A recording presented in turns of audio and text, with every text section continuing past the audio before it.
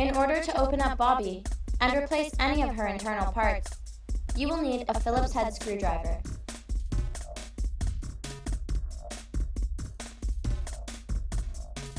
Remove the two screws close to bObi's dustbin.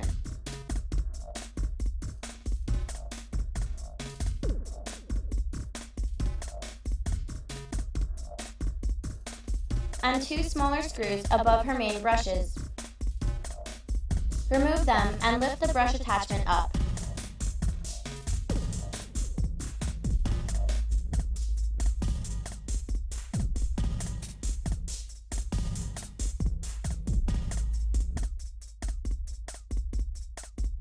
To detach the brushes completely, unplug them from bObi. You'll find the motor on the bottom of the main brush attachment. On the side opposite the brushes, uninstall the four screws which secure it.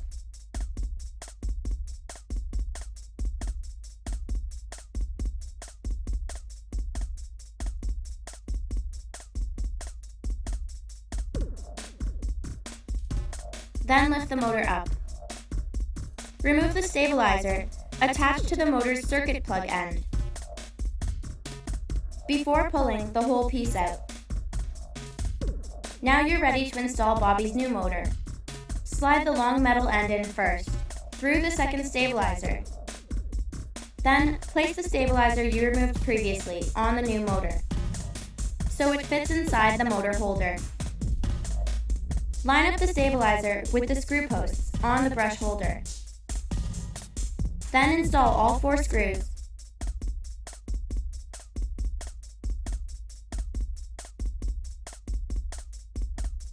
And connect the motor's circuit plug.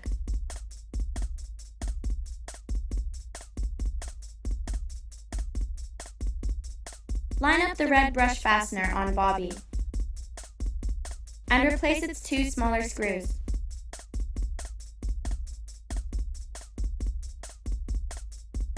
Place the main brush attachment in bObi so it sits flat. Before you lay the two corner pieces down, they secure the main brush on bObi.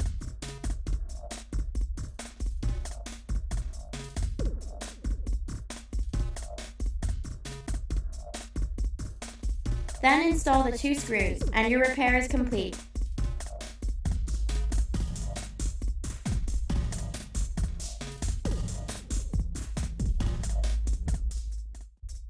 In order to open up bObi and replace any of her internal parts, you will need a Phillips head screwdriver.